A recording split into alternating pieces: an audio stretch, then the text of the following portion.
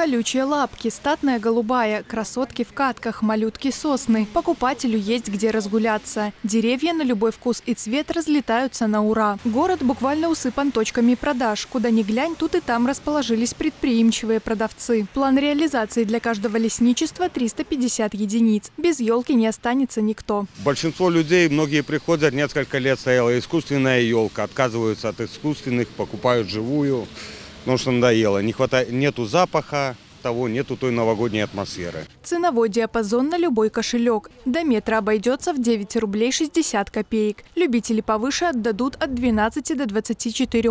Ель в катке также выйдет в 24 рубля. По окончанию праздников ее можно высадить на участке. После покупки выдается специальная квитанция. Гарант того, что дерево срублено сотрудником лесничества и приобретено легально. А вот за самовольную добычу физлицы заплатят от 185 до 1110 рублей и ИП до 7400. Юрлицы и вовсе могут отдать свыше 11. Чаще пользуются спросом елочки длиной от 1 метра до 2, а также елочки в катках с корневой системой до метра, небольшие. Также спрашивают букеты новогодние, просто веточки просят.